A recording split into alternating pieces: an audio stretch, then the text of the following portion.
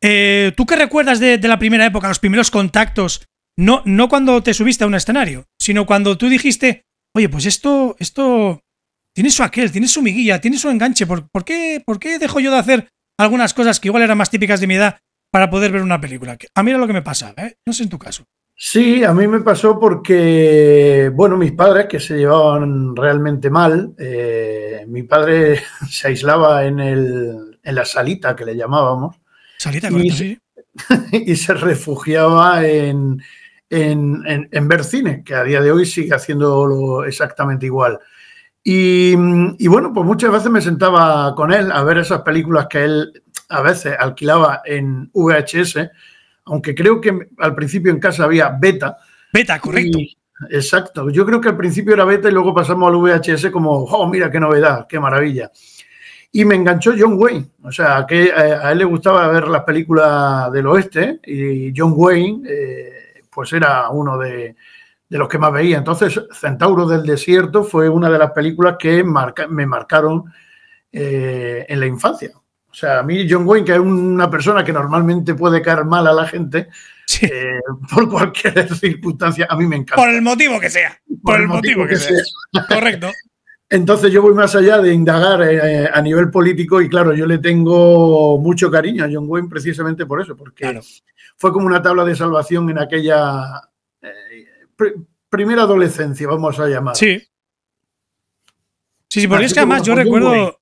Claro, es que yo recuerdo los espaguetis, los espagueti western, pues la madre. Bueno, también hay una, una, de mis películas preferidas es Hasta que llegó su hora de Sergio Leone, que me parece una obra maestra de La verdad es que sí, la verdad es que sí. Sí, sí, sí.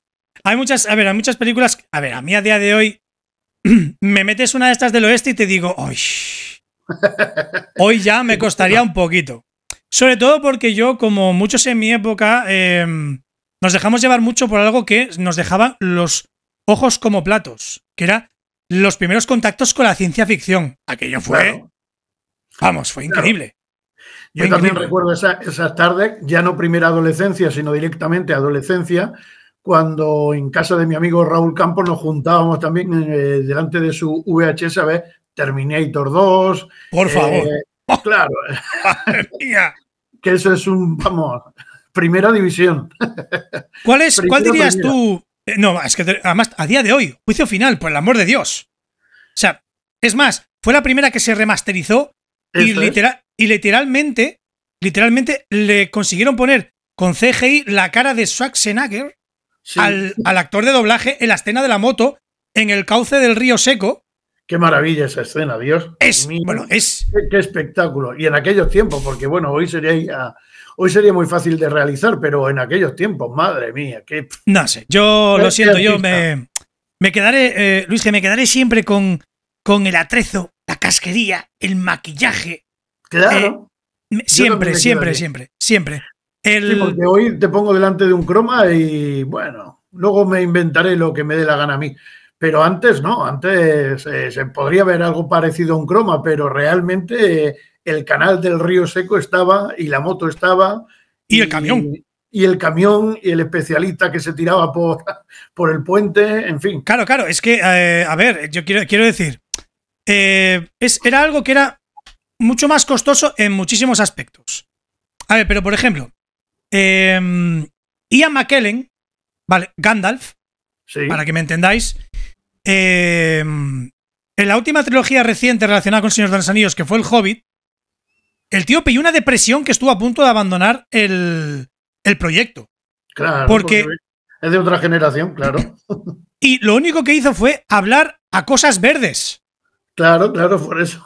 Pillaría una depresión el pobre. Y tuvo que tener, por suerte también, la fuerza de voluntad la, fuerza mental, la, dureza que era todo aquello, con el apoyo de todo el equipo de rodaje para poder terminar. Pero es que, o sea, pero es muy triste que un actor no tenga su réplica de personaje, su réplica de, de, eh, escena con el personaje que lo esté haciendo, personaje, personajes, eh, objeto interactuar, lo que sea, da igual, da igual.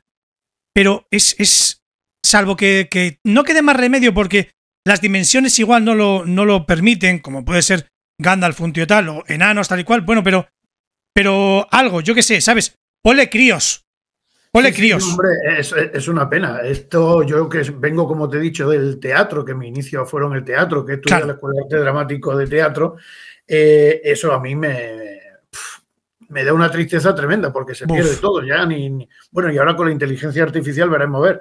Pero, pero ya te digo que, es una pena y entiendo lo que tú dices de, del actor que se frustraría y, bueno, oye, yo no quiero hablar aquí yo solo. quiero es que un actor, ponme un niño, como tú dices, ponme a alguien que me dé la réplica. O cógete literalmente actores enanos que por lo menos estén ahí, ¿sabes? Que vea un rostro, que vea a alguien que, que le pueda, ¿sabes?, dar ese apoyo que todos los actores tienen con sus compañeros de rodaje. Porque hay muchos actores que hacen papeles brutales porque tienen un compañero que le da la réplica, que es un profesional como la copa de un pino, igual que él, y hace que aflore el 100% de la escena y quede impresionante. ¿Qué trabajo tuvo que hacer este hombre para sacarlo adelante como lo hizo sin tener eso? Bueno, es, es que es un crack el tío, o sea, entre otras muchas cosas.